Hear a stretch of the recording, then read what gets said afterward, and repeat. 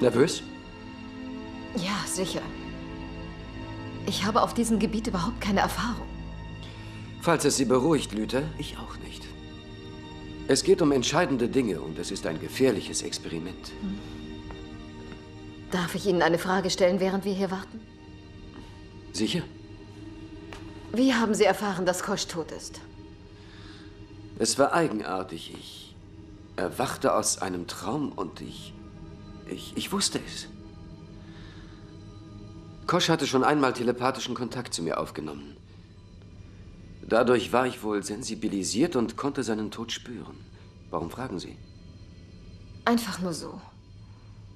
Ich äh, fühle mich irgendwie schuldig, weil ich nicht da war, als es passierte. Sie hätten es nicht verhindern können.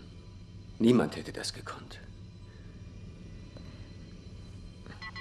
Captain, eine Relaisstation im Zielgebiet sendet einen Notruf. Sind das die Schatten?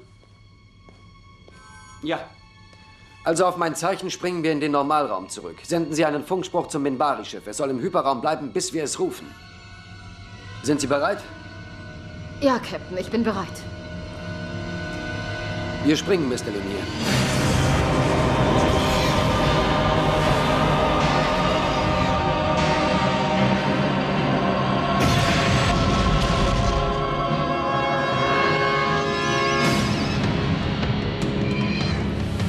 Ich muss auf jeden Fall Sichtkontakt zum Schattenschiff haben. Bringen Sie uns näher ran.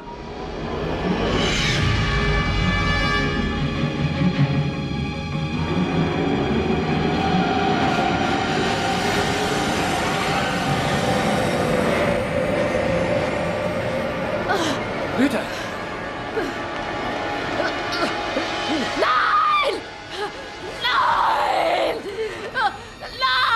Captain, das Schattenschiff ändert seinen Kurs. Es fliegt direkt auf uns zu. Ich fürchte, es hat uns geortet.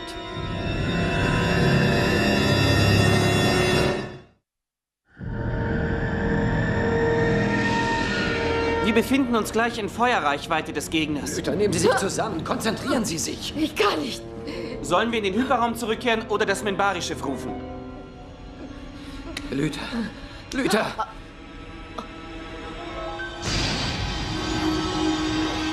Kosch!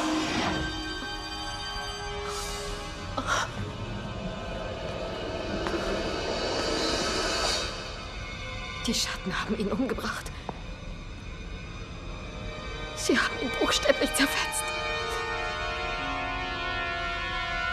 Ich werde euch bestrafen, ihr Ungeheuer.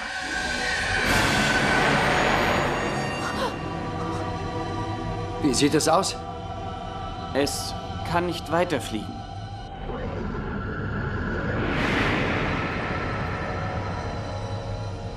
Wenn Sie etwas unternehmen wollen, müssen Sie es sofort tun. Alle Energie auf die vorderen Geschütze, Mr. Linier. Wir feuern mit einem gebündelten Energiestrahl. Jetzt!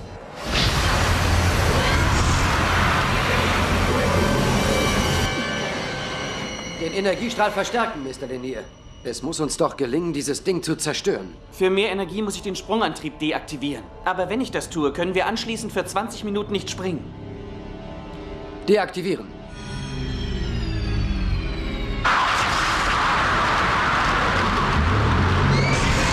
Wir haben es geschafft, Mr. Linier.